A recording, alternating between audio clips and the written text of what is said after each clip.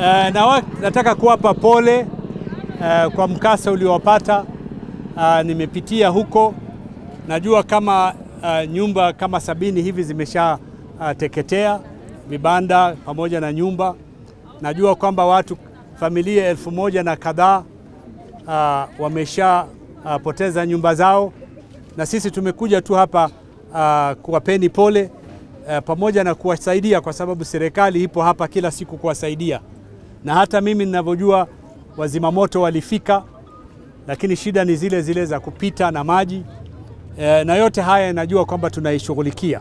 Unajua ni rahisi kulaumu, lakini si rahisi kushukuru kwamba serikali inajitahidi inavyowezekana, na sisi tutawashinikiza wajitahidi zaidi ili waweze kufikia uh, mahali ambapo tutakuwa tunaweza kupambana na moto kwa haraka zaidi kuliko ilivyo sasa hivi.